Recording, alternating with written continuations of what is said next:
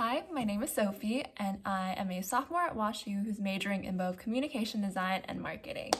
I am from Cincinnati, Ohio, but a fun fact about me is that I was born and raised in Malaysia before moving here at the age of 12. I am the Thomas H. Eliot Student Technology Coordinator, or STC for short. So what that means is that if you live in either Eliot A or Eliot B, I am here to help troubleshoot your Wi-Fi, cable TV, printer, and other tech problems. Uh, so if you ever need help, you can find my contact information on the little iPhone cards that are right outside your door. Text me and I will get back to you as soon as possible. Thank you and I look forward to a good year.